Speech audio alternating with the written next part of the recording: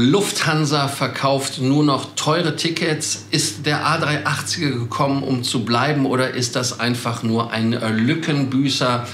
Äh, Lufthansa-Aufsichtsrat äh, möchte eine Sondersitzung haben. Dann gab es eine Tarifrunde beim Pers Bodenpersonal, die einfach vertagt werden musste. Ähm, was hatte ich noch? Lufthansa Flynet hat eine neue App. Ja. Yo. Ich glaube, ich habe alles. Hast alles? Na dann.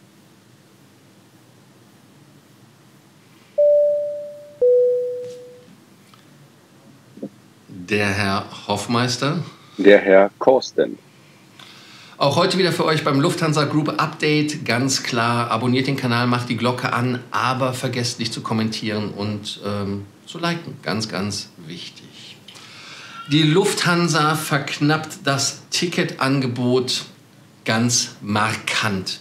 Der Monat Juli wird ein teurer Monat für den, der fliegen möchte. Warum? Ganz einfach. Die Lufthansa möchte, dass man ja, Umbuchungsmöglichkeiten hat. Ja. Ähm, es werden also wirklich nur noch die teuersten Buchungsklassen verkauft. Und es ist eine Maßnahme, um den Leuten zu klären, nicht kaufen, weiche Satan-Kunde. Ja, Kunde, bleib weg. Wir wollen ja, dich nicht. ja, krasse Nummer, krasse Nummer. Das ist natürlich eine Maßnahme, die jetzt äh, limitiert ist für eine gewisse Zeit, um, wie ich ja sagte, um die Sitze freizuhalten. Und ähm, ja, die Lufthansa bestätigte das auch aus viel, viel Kreisen am Freitag. In den kommenden Tagen sollen die Änderungen in das System eingepflegt werden. Man hat natürlich massive Kapazitätsprobleme, das ist ja auch keinem da ähm, ja, verborgen geblieben. 3000 Flüge, erst 900, dann 2200, sind sogar 3100 Flüge. Ähm, 95 Prozent der Flüge sollen aber durchgeführt werden. Äh, man hat das Ziel, die Gäste von den Flugstreichungen im Prinzip so äh, äh, wegzuhalten, wie es nur geht. Aber es geht halt nicht immer und deshalb will man halt freie Sitzplätze haben.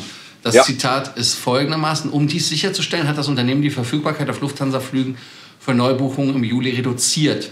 Und äh, man sieht halt auch Preise, wenn man so in die Y-Klasse reinguckt, von 1000 Euro für einen Returnflug einfach irgendwo mal so innerhalb Europas hin. Auch innerdeutsch kann sowas passieren. Dann äh, Business-Klasse J, das ist dann nochmal wesentlich teurer.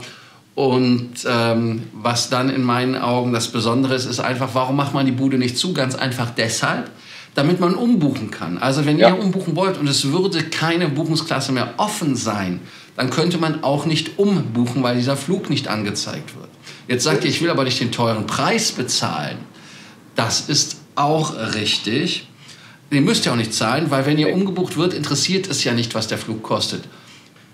Ein kleiner, naja, nennen wir es einfach mal ein Bonbon. Kann natürlich sein, dass wenn man aus einer günstigen Klasse kommt und dann umgebucht wird auf Y oder sonst was, dass man mehr Meilen bekommt. Kann passieren, auch muss nicht, nicht passieren. Aber das wäre so ein Vorteil in meinen Augen, den man halt so sieht gerade wenn man so eine Z-Klasse gebucht hat, wo es nur 150 Prozent gibt oder sogar nur P-Klasse mit 100 Prozent ja. und man wird dann umgebucht auf CDJ, beziehungsweise J ist ja nur offen, dann gibt das 200 Prozent an Pünte. Also insofern ja. sehr, sehr gut. Und das wären dann mit einem 1,5-fachen Faktor, das wäre ein Regen. Vielleicht ist das für die Leute dann einmal ein kleines äh, Bon, bon, um da mal ähm, Positives aus dem Fliegen im Moment mitzunehmen. Ja. Nichts, Dadurch, dass. Nichtsdestotrotz äh, ist das natürlich sehr geschickt, nicht? die Preise zu verteuern, um noch Kapazitäten für Umbucher zu haben, die man ja reichlich hat. Also insofern. Ja, es ist halt äh, unter Druck passiert, aber genauso ja. ist das Management unter Druck und da kann Mario ja. uns was ja erzählen, weil er ist ja ein, hier ein Konzernkenner im Allgemeinen und im Besonderen. Ähm, Sondersitzung, Aufsichtsrat. Ja ja, äh, der äh, Aufsichtsrat äh, der Lufthansa, in dem Falle die Arbeitnehmervertreter, haben eine Sondersitzung quasi gefordert und die Arbeitgeberseite, also die Kapitalseite, hat dem wohl auch zugestimmt.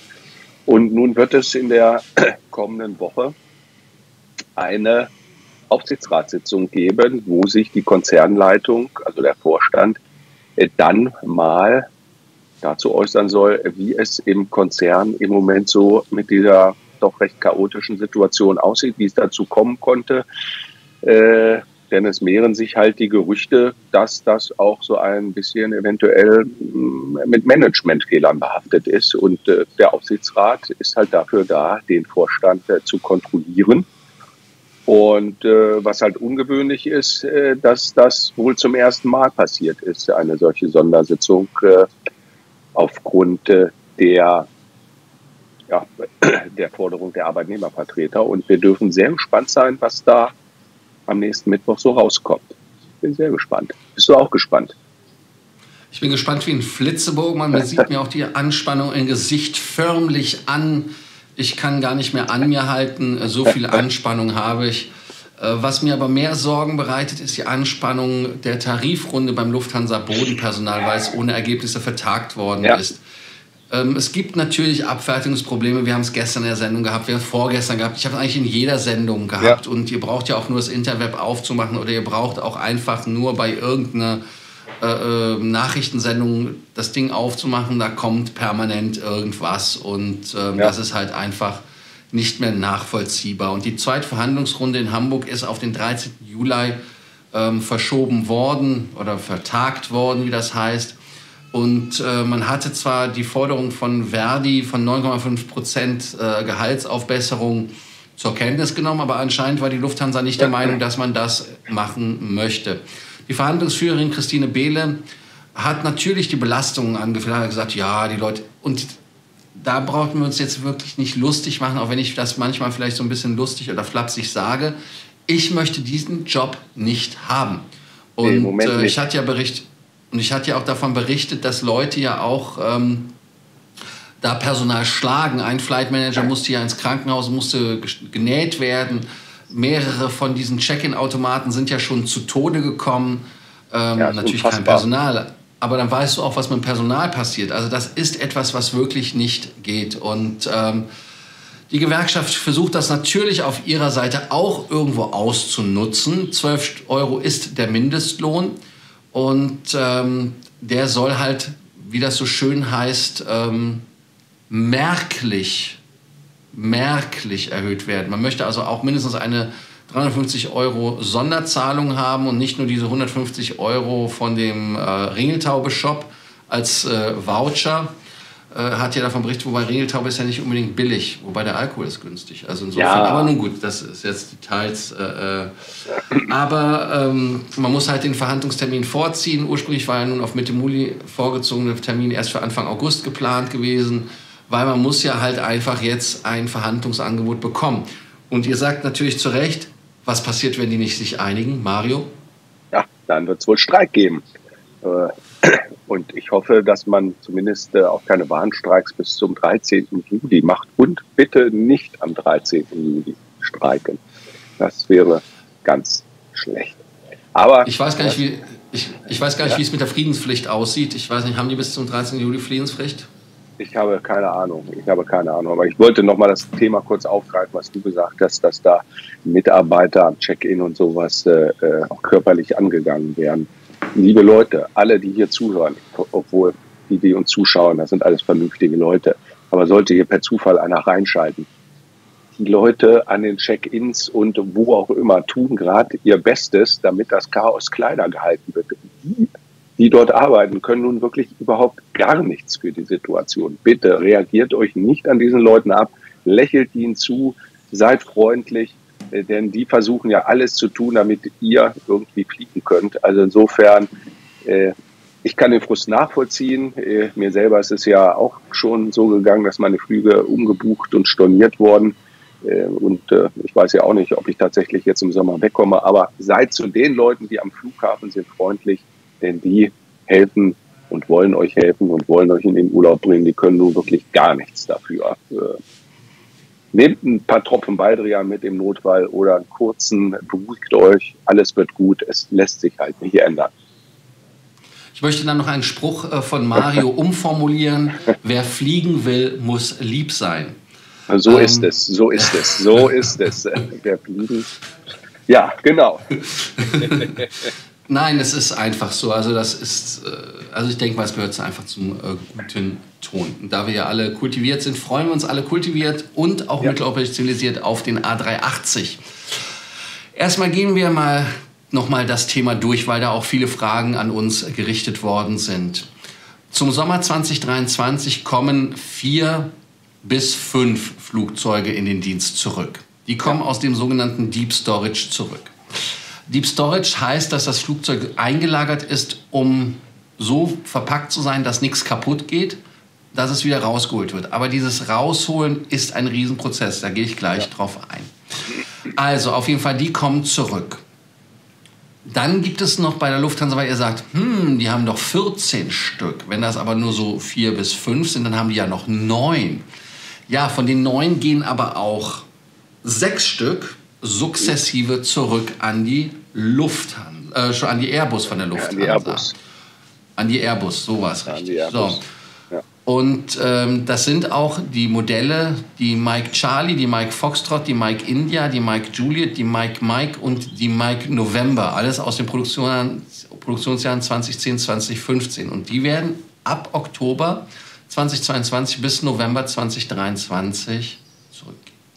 Jetzt sagt ihr, was will Airbus mit der Bude machen? Airbus will mit der Bude wahrscheinlich gar nichts machen. Vielleicht machen die eine Hotelkette auf, ich weiß es nicht, ja. es gibt ja dieses Gerücht. Und der Zweitmarkt ist ja auch eigentlich tot. Ja. Ich sage jetzt eigentlich. Weil jetzt passiert nämlich Folgendes. Ähm, die Lufthansa ist nämlich an einem Leaseback nicht interessiert. Ein Leaseback ist das, was normalerweise Fluggesellschaften machen, die klamm sind. Das heißt also, sie haben ein Flugzeug, ja. sie verkaufen das und leasen das zurück. Von außen merkt keiner was, man hat sich ja. damit Kapital geholt. Was aber in dem Fall ein Problem sein wird, ist einfach, dass die Lufthansa an, dem, an der Bude wirklich kein Interesse hat. So einfach, so gut. Ja. Dann geht es weiter mit dem Leaseback-Verfahren. Vielleicht gibt es andere. Ich möchte jetzt nichts sagen, aber ich habe das Gefühl, dass, das, dass der Bedarf an Flugzeugen so groß ist, dass da eventuell ein Zweitmarkt entsteht. Ja. Warum? weil es gibt im Moment gar nicht so viele Flugzeuge, wie die Leute brauchen. China hat ja irgendwie 200 irgendwas A320 Neos bestellt in den verschiedensten Varianten. Ähm, jetzt lasst uns mal gucken ähm, auf die 380er, ob, das, ob er gekommen ist zu bleiben. Ich hatte ja gesagt, Lufthansa überlegt, ob man nicht einfach auch das Interior erneuert. Ja. So. Das kostet, also ich, ich habe mich gestern ja mit Recaro unterhalten und ich habe eine Überraschung für euch. Ich werde es aber noch nicht sagen. Ich habe bei Recaro gestern etwas gekauft. Also, ja, kombiniere Watson. Ähm, und da hatten wir uns auch unterhalten, weil ich so ein Projekt habe und wenn ich irgendwann mal ein reicher YouTuber bin und Mario Vollzeit bei mir arbeitet, also das heißt, er dann auch fegen kann im Studio und so, ähm, dass er halt nicht so Fernkurse macht, dann wollten wir so ein wollten wir halt was machen. So. Und bei dem Gespräch wurde ich dann so darüber informiert, was so ein Stuhl kostet. Und wir hatten uns über Economy Class unterhalten. Und ich dachte, du, ich wollte eigentlich kein First Class kaufen. Er so, nee, First Class. Für den Preis, für die du die Stühle kaufen willst, kriegst du noch nicht mal einen Sitz. Ich so, ich ja. will aber nur einen Mock-up haben. Also sehr, sehr teure Geschichte. Lange Rede, kein Sinn. Heißt einfach, wenn sie das machen, werden die Flieger länger benutzt werden. Und natürlich leben dann Totgesagte länger. Und ähm, dadurch, dass sie halt diese Lückenbüßerfunktion wahrscheinlich nicht haben werden, wenn sie den Retrofit bekommen, wovon ich in meinen Gebeten immer ausgehe und ich bete dafür, dass wir es immer mal kriegen, bin ja, bin ja staatlich geprüfter Katholik. Ähm, kann man das sein? Staatlich geprüfter ja, Katholik? Ich weiß. Also getauft zumindest. Gefirmt bin ich auch. Ähm, Wahnsinn. Aber egal.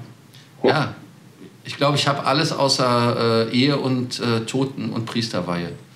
Habe ich denn sonst alle Sakramente? Ja. ja, sonst hast du alle Sakramente. sind doch noch sieben. Aber lass uns jetzt nicht ja, religiös werden, sonst wir einen neuen Kanal machen. Äh, Vielflieger Gottesdienst oder sowas. Ja. Auf jeden Fall ähm, ist halt die Nachfrage im Moment wirklich so groß und die Lufthansa kriegt halt die 787er nicht an Land. Und erinnert euch, die 787 sollte ja im Sommer kommen. Sommer ist noch ein bisschen, aber ne?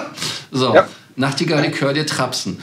Dann 777 2025. Schauen wir mal, bis die kommt. Und diese Zulassungsprobleme sind natürlich so, dass Lufthansa da Ersatz schaffen muss. Jetzt geht es natürlich weiter. Andere Fluggesellschaften haben dasselbe Problem. Ja?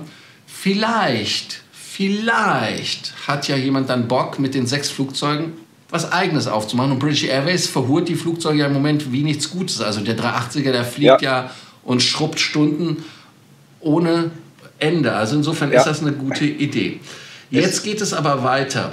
Und das ist das, was ich äh, erzählen wollte. Ähm, wegen des akuten Flugzeugmangels sind die natürlich eingepackt. Und jetzt festhalten. Man braucht Kontrollen, um die Flugzeuge rauszuholen, von tausenden Mannstunden. Ich rede jetzt nicht von Annette Mann, sondern von wirklich von TechnikerInnen und Technikern. Weil da müssen wir ja richtig sagen, es gibt ja auch Frauen, die den Job machen, Gott sei Dank. Richtig. So, Lufthansa hat, wie gesagt, 14 Piloten, die das Ding noch fliegen können. Ich hatte euch ja erzählt, dass man jetzt über eine 350er Lizenz aktiv wieder das Type-Rating machen kann mit zwei Wochen Simulator und dann ein paar Starts und Landungen. Dass man also mindestens 20 Kapitäne und erste Offiziere braucht für eine Bude. Ja. Das ist jetzt eine Zahl, die ich euch nennen kann. Insgesamt sind es 1000.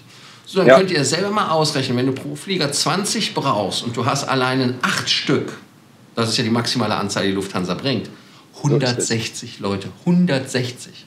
Ja. Heißt also dann andersrum, äh, dass du dann 840 Kabine brauchst. Richtig. So. Dann brauchst du aber noch Mechaniker, die eine Zulassung haben. Eben. Dann brauchst du noch andere Leute. So, Mario, und jetzt kommst du. ja, jetzt komme ich. Äh, äh, denke ich, bereite mal mein Type-Rating mal vor äh, um vielleicht auch mit einem durch die Gegend zu fliegen. Nein, es wird, es wird, es wird tatsächlich schwierig und da kann man schon dran sehen, selbst wenn man sozusagen genug Techniker hätte, so eine, so eine Kiste innerhalb von, von vier Wochen wieder flugfähig zu machen, würde uns das gar nichts nützen, weil wir bräuchten nämlich äh, erhebliches Personal, um den A380 überhaupt betreiben zu können. Und äh, das wird sich ein bisschen hinziehen. Und daher wird das halt erst äh, nächsten Jahr was werden. Und ich finde, selbst das ist schon sportlich gerechnet. Und wir dürfen da sehr gespannt sein. Aber es gibt übrigens ja wohl auch noch einen anderen Grund äh, für sozusagen für ja, den A380. Und zwar der ursprüngliche Grund, warum man dieses Flugzeug mal entwickelt hat, nämlich äh, bezüglich der, der relativ wenigen Slots, die man hat. Und jetzt gerade in der Krise kommt es halt äh, kommt es halt auch wieder dazu, dass man, dass es natürlich einfacher ist, eine A380 am Flughafen abzufertigen als äh, drei A20er. Äh, und insofern hat das Flugzeug vielleicht auch äh, aus der Hinsicht wieder eine Zukunft, zumindest mittelfristig. Ich bin zumindest sehr gespannt, wie es weltweit mit den A380ern weitergeht. Und nachdem wir uns ja schon nicht nachdem wir uns ja schon nicht vorstellen konnten, dass die Lufthansa das Ding jemals wieder reaktiviert. Vielleicht fängt man bei Airbus schon wieder an, die Produktionsstraßen einzurichten. Nein, ich glaube, das geht jetzt zu weit. Nein, das geht zu weit, aber man muss sich das halt einfach anschauen, dass der Bedarf einfach da ist, dass der Markt einfach da ist und das vor allem aber auch ähm, die Aviation-Zahlen steigen und Amsterdam Flughafen zeigt uns ja mit trauriger äh, Impertinenz, um es mal so zu sagen, was die Zukunft ja. ist, dass man halt von 500.000 Flugbewegungen pro Jahr, die erlaubt sind, 60.000 wegnehmen möchte, auf 440 reduzieren möchte, 1000 und das hat natürlich dann das Problem, dass man halt größeres Fluggerät bringt und last but ja. not least, ähm, aber das ist jetzt no pun intended, äh, wenn man natürlich nur in Y oder in, in, in äh, J oder in F Tickets bekommt, dann rechnet sich auch der 380. Also insofern ja, stimmt, das stimmt. bei, bei, den Preisen ähm, das nur so als, als Randbemerkung, aber das ist natürlich jetzt nicht ganz ernst gemeint. Nein. Was aber ernst gemeint ist, ist, dass es in den Flugzeugen von der Lufthansa Internet gibt. Ich habe Internet früher nicht vermisst im Flugzeug, jetzt vermisse ich es ehrlicherweise im Flugzeug. Mario zeigt es auch. Halt's nochmal richtig rein, halt's nochmal richtig rein und wackel nicht so wie so ein Lämmerschwanz. Das ist die neue App. Und zwar so ist diese aus, App. Ja.